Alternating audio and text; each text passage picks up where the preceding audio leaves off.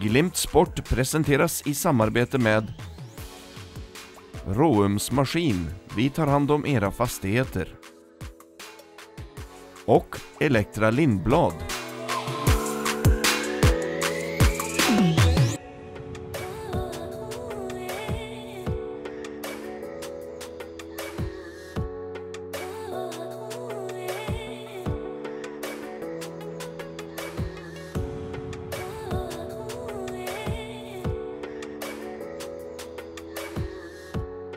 Fotbollsföreningen FBK Karlstad är tillbaka i division 2 efter att ha spelat i trean sedan 2019. Glimt Sport tog en tur ut till Örsholmens IP och där träffade vi sportchef Erik Wennberg och verksamhetsansvarige Stefan Hermansson. De har ett lovande och mestadels hemvävt lag på gång till säsongen. Det blir spännande. Vi är ju nykomlingar i division 2 tillbaka efter några år i, i trean då, men eh, vi känner väl att eh, vi kommer nog att hävda oss bra nästa år tror jag. Det ser, ser väldigt positivt ut eh, faktiskt, det måste jag säga. Vi har gjort en bra, vi har gjort en bra silly season. I sportgruppen, så att eh, vi, är, vi är väldigt nöjda med, med hur det ser ut. Mm, det är väldigt mycket bra spelare som har spelat på hög nivå som inte, inte är för gamla heller. Nej, och det är det som är lite kul, för tidigare när vi varit uppe i tvåan så har det varit kanske lite äldre spelare, jag själv bland annat, och då har det varit lite grann på våra villkor att ja, men man har trä, tränat några gånger i veckan och man har spelat matcher och man har haft roligt liksom. Men nu, nu känns det som att nu är det något annat och vi eh, tränar på och vi, vi har liksom ett, eh, en bra mix och vi har en, eh, ett go och stommen är inte 30 än liksom, så att det känns, eh, ja, men det känns positivt. Det känns som att det är något något nytt, eh, nytt på gång. Eh, det måste jag ändå säga. Som vi kanske påbörjade för ja, men ett par år sedan eh, redan då med att vi, vi insåg att ja, men vi behöver för att kunna locka spelare hit så behöver vi liksom skapa en bra kultur och en bra träningsmiljö. Och, och ha, anläggningen är ju topp liksom här så att vi, det var ju egentligen att hitta rätt tränare, hitta rätt typer av spelare och satsa på dem eh, som, vill, som vill träna mycket. Det, det, var liksom det som det beslutet som togs då och, och det har ju bärt frukt än så länge får man ju ändå säga. Mm. Marcus Moberg, 26 år, tränare här, är en coming man? Ja, men det får man väl säga. Han, har ju, han, han blev ju lite inkastad i, i hetluften där för två år sedan när eh, vi anställde ju Rex då, Rex Batiri som tränare och han gjorde ett jättejobb för säsongen men sen så var det omständigheter med jobbet och så där som gjorde att han behövde resa mer så att han, han kunde inte fullfölja säsongen så Moberg klev in gjorde det jättebra. Ehm, vi var nöjda att vi fick kvar han till förra året. Ehm, och, och liksom, han, han gjorde det som vi hade hoppats på att vi skulle ta oss tillbaka till, till tvåan. Ehm, så att, eh, ja, men det känns väldigt kul att han, att han liksom har tagit den chansen och, och fortsätter nu även, även den här säsongen. Så att eh, han känns väldigt på gång och han, han är ju väldigt ung men han, eh, han lär sig hela tiden och jag tycker ju att man har sett en utveckling på han också såklart under den här tiden som han har varit huvudtränare och han kommer att ta, ta ytterligare steg. Eh, det är, det är jag säker på. Mm. Det känns som att vi fick lite extra luft till ungarna förra året där plocka in André Jernberg där som eh, har varit en väldigt, väldigt bra division tidigare. Ja, det är klart att det var en nyckelvärvning, det måste man väl ändå säga. Och vi fick väl, ja, i och med att jag känner han sedan tidigare och har spelat med honom och vi har bra kontakt så fick jag väl, eh, hade väl lite kontakt med honom och hade lite på känn att han kanske skulle flytta hemåt och då, då var ju det prio ett att knyta han för att jag visste att kom, kommer han Kommer vi kunna få hit han så kommer det att, att lösa upp eh, många andra pusselbitar också då. Och, och det blev som en, ja men lite som en dominoeffekt då att eh, ja men André kom och sen, sen rullade det liksom på under, under försäsongen under ja men december, januari förra året med, med de spelarna vi fick på plats och sådär. Så att det var en det får man säga var en nyckel, nyckelperson att få in. Mm, att gå upp en division, det är ju, det är ju inte det enklaste. Nej, det är ju inte det. Och det, vi, vi hade det ju lite knackigt under våren förra året, men uh, gick väl 6-7 matcher in och, och sen började vi hitta det och vi började liksom inse att det här kommer inte av sig själv fastän vi har ett bra lag. Så efter det var vi obesegrade resten av säsongen. Så att uh, de tog ju verkligen tag i det och går in med en väldigt bra känsla i, inför nästa år då, eller inför den här säsongen.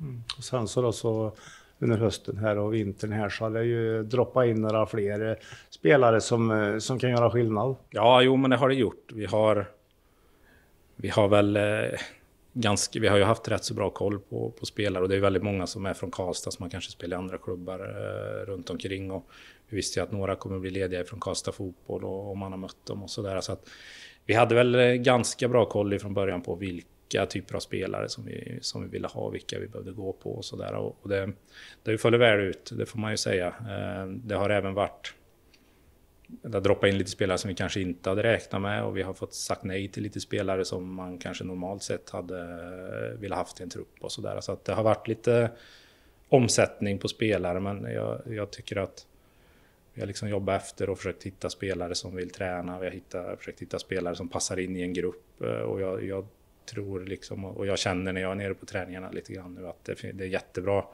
jättebra sammanhållning redan och det är många som känner varandra sedan tidigare och, även de här nya som är, har, har ju liksom är ju från Karlstad eller bor i Karlstad och har koll på varandra och känner eh, varandra och sådär. Så att det känns, eh, ja, men det känns väldigt positivt måste jag säga. Mm, ni har ju rätt så bra träningsfaciliteter också här ute. Ja, jo men det har vi absolut. Vi har byggde ett gym här också för några år sedan så vi har det nu har det inte varit någon eh, vidare vinter så de har kunnat träna ute, vilket är bra. Annars så har vi gräshallen. Så att det finns ju...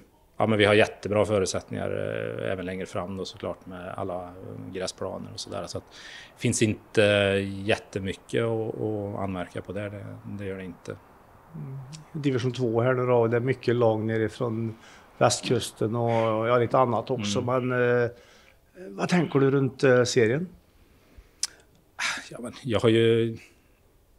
Jag har ju spelat i den serien och jag, jag kan inte tänka mig att, den är så jätt, att det är någon jättestor skillnad mot hur det var då.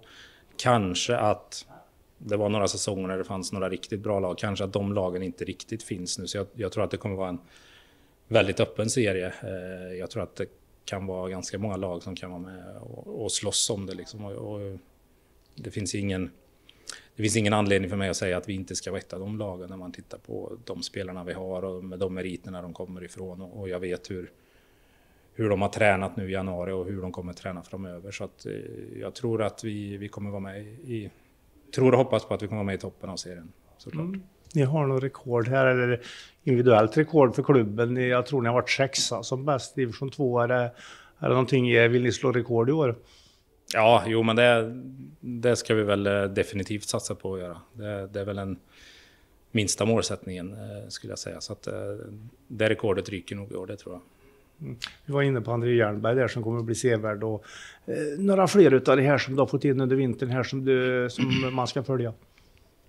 Ja, det, det finns det ju såklart. Vi har ju Eh, vi har ju fått ett par, eh, par tre spelare från Säffle som har spelat, ja, en har ju spelat division 1 tidigare, Belander, och sen har vi både KE och Adrian Johansson som är duktiga och kommer att, kommer att bidra eh, mycket såklart på olika sätt. Sen har vi Ja, men vi har lyft upp ett par 07 också ifrån egna leden, vilket är kul att se att de tar för sig på träningarna och förhoppningsvis får de göra lite minuter i, i division 2. Så det vore väldigt kul om vi kunde Eh, ja, men om vi kunde bli ännu bättre på att lyfta upp egna spelare och få upp egna spelare. Så att eh, det finns...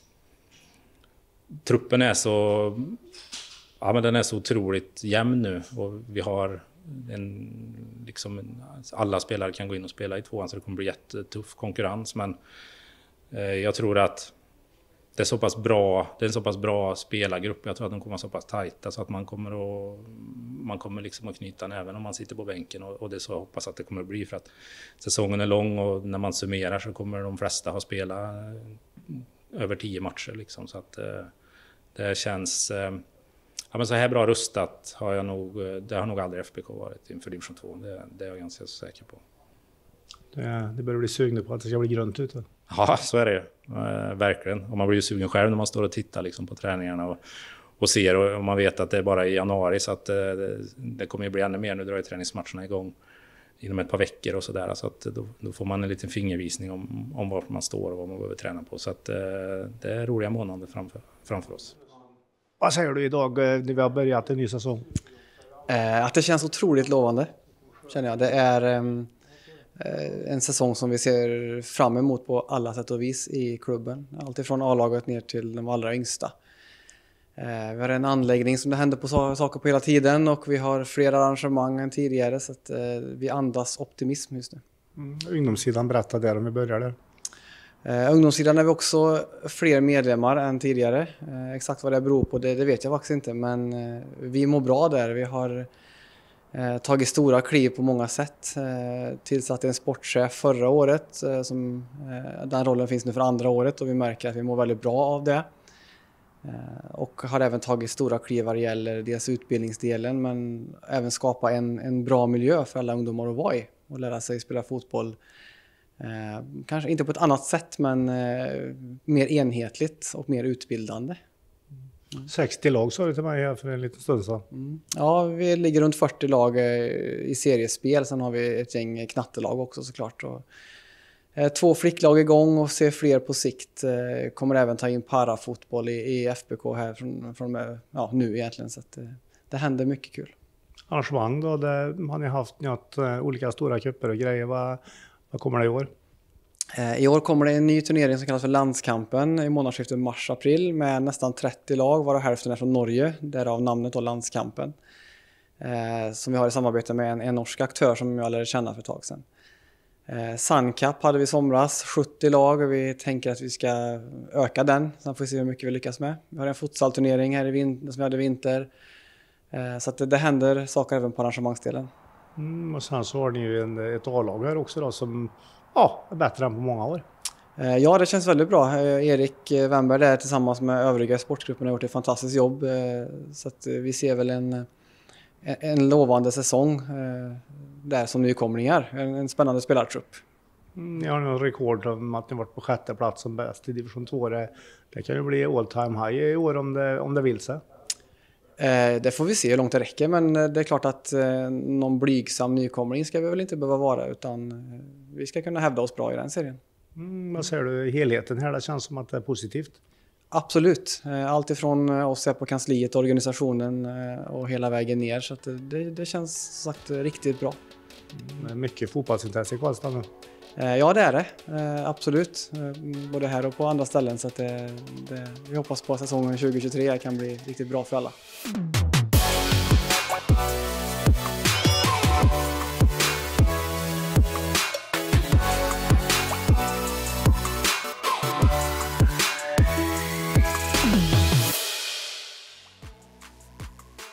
Glimt Sport presenteras i samarbete med Råums Maskin, vi tar hand om era fastigheter. Och Elektra Lindblad,